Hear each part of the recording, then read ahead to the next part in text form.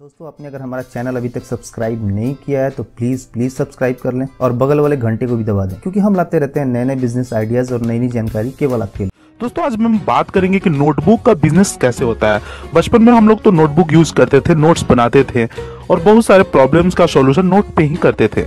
तो नोटबुक आखिर कैसे बनते हैं, क्या इसके प्रोसेस क्या है और इसकी मैन्युफैक्चरिंग प्रोसेस क्या होती है क्या क्या मशीन की ज़रूरत होते हैं, इन सारे बात, बारे में आज हम जानकारी लेंगे। दोस्तों, बहुत सारे हमारे सब्सक्राइबर ने कमेंट करा था कि नोटबुक कैसे बनते हैं, इसके बारे में आप बताइए। तो आज आप लोगों का इंतज़ार खत्म हो गया। आज मैं आपको बताने जा रहा हूँ कि नोटबुक आखिर बनते कैसे हैं? तो दोस्तों, इसमें कुछ मशीन की ज़रूरत होती है। उन सारी चीज़ें कहाँ से आती है? कुछ रॉ मटेरियल की ज़रूरत होती है। वो रॉ मटेरियल कहाँ से आते हैं? इन सारी चीज़ों के बारे में मैंने काफ़ी रिसर्च किया। उस रिसर्च के बाद मुझे पता लगा कि ये चीज़ें कहाँ कहाँ से आती है। तो आज मैं एक एक चीज़ के बारे में आपको बताऊँगा और कोई भी कंफ्यूजन नहीं होगी। इस वीडियो को आप लोग बस लास्ट तक देखिएगा। आखिर इसमें क्या क्या लगता है, क्या मटेरियल होती है? तो ये वीडियो को आप लोग देखते रहिए लास्ट तक। मैं आपको बताने वाला हूँ।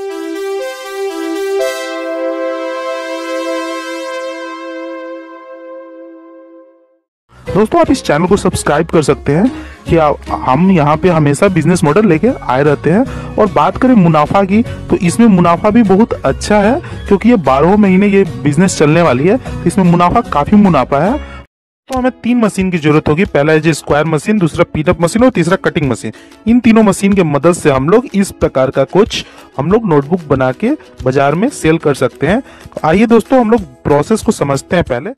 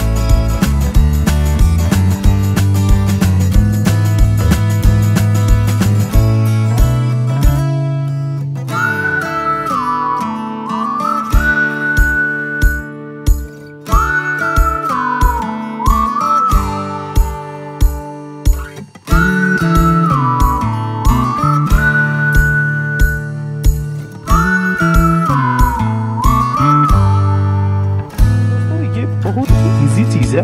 बहुत कोई बहुत बड़ा इसमें हम लोगों को इतना भी नहीं लगने वाला है स्किल वगैरह की ज़रूरत। और इस प्रकार का हम लोग नोटबुक बाज़ार में सेल कर सकते हैं। जैसा कि आप देख सकते हैं, यहाँ कई प्रकार के नोटबुक आप दिख रहे हैं। ये सारे उस मशीन के द्वारा ही बनाए गए हैं। तो अब दोस्तों इस बात करें कि आखिर ये इसकी मार्केट वैल्यू क्या है? तो मार्केट वैल्यू अगर कोई नोट्स तीस रुपए की बिक रही है तो आपको इजिली पच्चीस, बीस रुपए में आ जाएँगी। तो अगर आप डेली पाँच हज़ार नोट्स भी बनाते हैं और एक पे दस रुपया बचते हैं तो आप सोच सकते हैं कि एक दिन का इनकम आपका कितना होगा।